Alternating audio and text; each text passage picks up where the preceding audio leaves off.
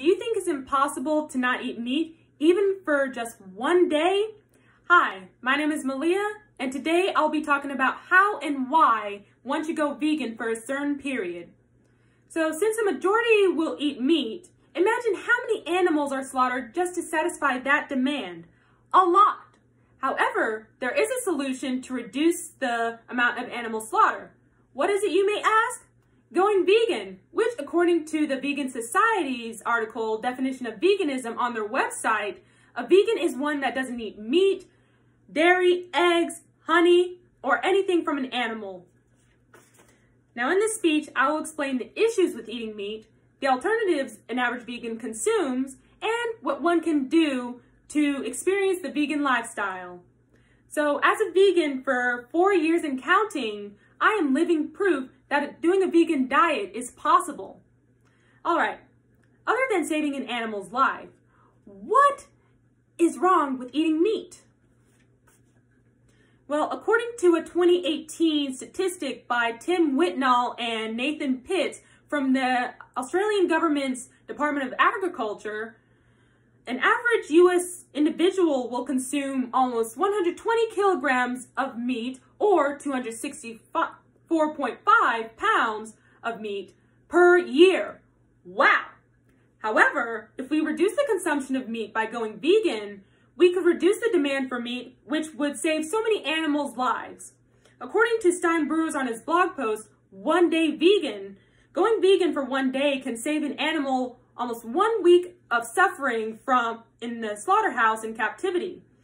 They can also save 0.6 kilograms of food, 1,000 liters of water, and reduce 2 kilograms of carbon dioxide emissions.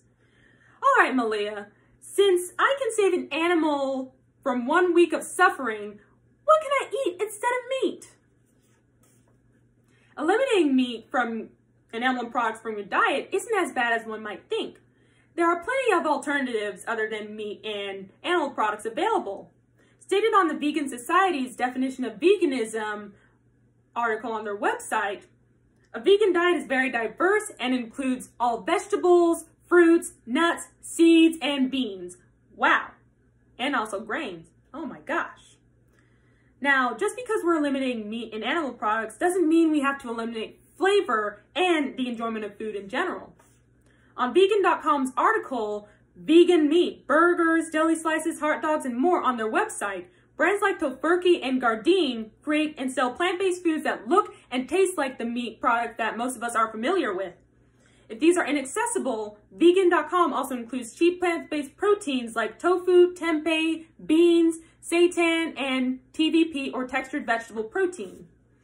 For milk, blogger Angela Liddon from She Glows on her post, Vegan How To, Replacing dairy milk. She includes soy milk, almond milk, rice milk, coconut milk, quinoa milk, and flax milk. Now, to satisfy the need for calcium, which dairy milk is rich in, when doing, going vegan, look for plant-based milks that are fortified with calcium, like the Silk brand, and other nutrients. Along with beverages, there's also dairy-free ice cream, cream cheese, cheese, coffee creamer, etc. Now you might be asking, if a majority of us were to go vegan right now, wouldn't the cows overpopulate? Allow me to paint a picture of the animal population if a majority went vegan. So based on Paul Allen's article, what would happen if everyone went vegan? A majority of farmers turned to intense breeding to increase the animal population to satisfy the demand for meat. What?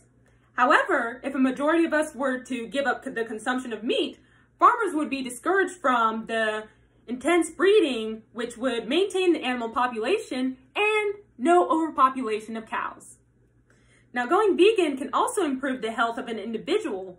Based on a study that the Mayo Clinic did with 70,000 volunteers, those that followed a vegan diet reduced the risk of cancer. And based on other studies that the Mayo Clinic did, those that did a plant-based diet reduced their risk of cardiovascular diseases. Now that we know the alternatives and the impacts of going vegan, what can we do right now? First option is to try going vegan for at least one day, eating your vegan versions of your favorite foods. If you like eating out, download the app Happy Cow to find the best vegan, vegetarian, or restaurants that have vegan options. As a college student at Embry-Riddle, request, start requesting vegan food or food items at one of the dining services that are on campus. Like at Boundless, start going to the wild mushroom and or garden toss or use the and use the soy milk and almond milk dispensers that they have. Order the veggie or impossible protein option at Qdoba or request the impossible burger at late night. And at the refueling station, you can buy the soy milk cartons, the veggie and hummus tray, and the veggie sandwich. There's also a club in the making. Um, although it's not official, you can follow them at ERAU underscore Vegals on Instagram. If you make the decision to go vegan for one day, remember that you're saving a lot of the animals' lives.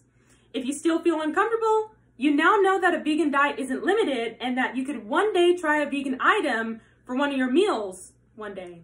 Thank you.